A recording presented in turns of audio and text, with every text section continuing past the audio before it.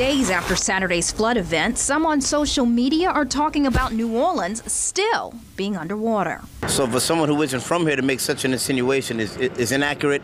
The streets are dry as we speak, and I feel like people are always dumping on New Orleans. Some tourists say the tweets like this one are misleading and would have made them reconsider coming to the Big Easy to spend money. It'd make you think twice. Maybe wait till a week later, longer, find out what's going on a little bit more with the situation.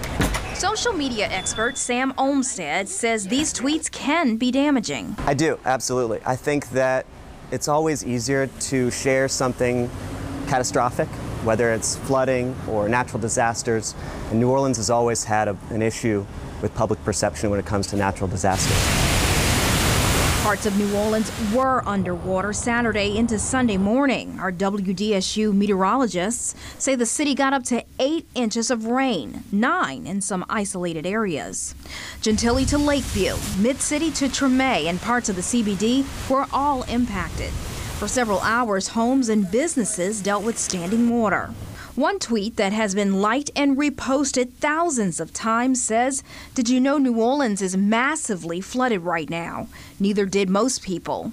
This tweet reposted over 28,000 times. Um, it's definitely could be you know misleading and change, it could change people's trip plans. I don't see any reason why people wouldn't be scared um, considering the news they're reading. Social media experts say one way to curb the inaccurate perceptions is to post the factual information instead. You know, I saw one the other day of a guy kayaking to a bar with a drink in his hand.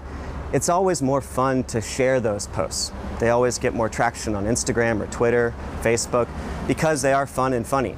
But if it's not actually what's happening, I would just urge people not to share that.